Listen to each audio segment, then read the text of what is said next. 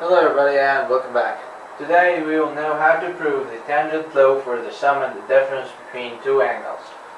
So if we have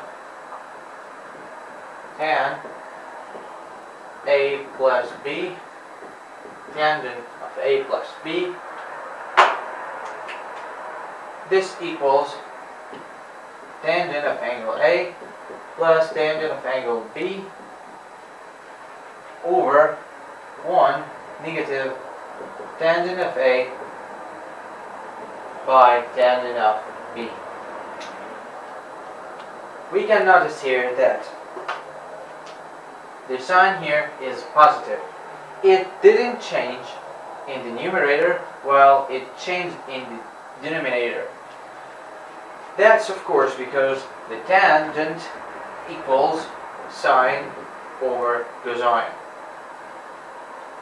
And in the sine law for the sum and the difference between the two angles, the um, sign between the two angles doesn't change, while in the cosine it changes. For uh, the proof of the sine and the cosine laws for the sum and the difference between two angles, click on these links here.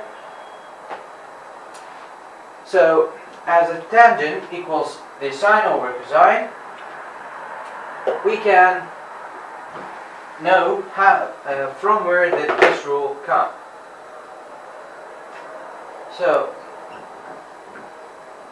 tangent of A plus B equals um, sine A plus B over cosine A plus B.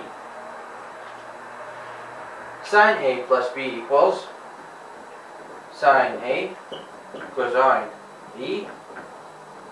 Then positive, and we flip. Sine B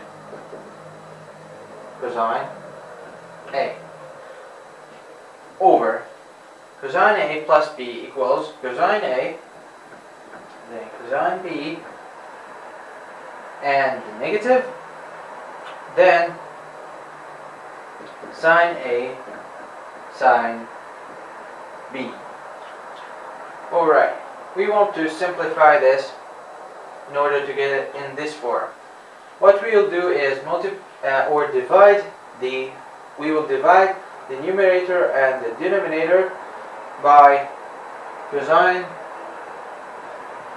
A cosine B.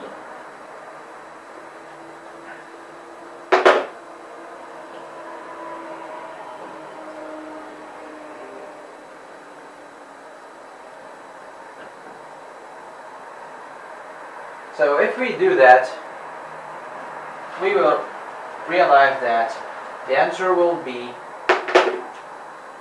here. Sine A cosine B over cosine A cosine B. This will um, leave sine A over cosine A, which is tan A. The positive, then sine B cosine A over cosine A cosine B. Cosine A will go with cosine A to leave sine B over cosine B, which is tan B.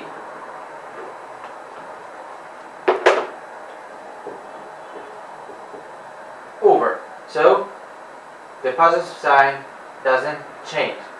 Here in the denominator, we have cosine A, cosine B, over cosine A, cosine B equals 1. This is where the 1 came from. Then the negative sign, sine A over sine B Oh, or sine A sine B over cosine A cosine B, we'll have sine A over cosine A, which is tan A, and sine B over cosine B, which is tan B. And this is where the rule came from. So let's say if we have a negative sign here instead of a positive sign, so it will not change in the numerator this will be a negative, while in the denominator it will be plus, because tan equals sine over cosine. In the cosine law, the sign changes, while in the sine law, the sign does not change. And this is a proof of the tangent law for the sum and the difference between two angles. Now we knew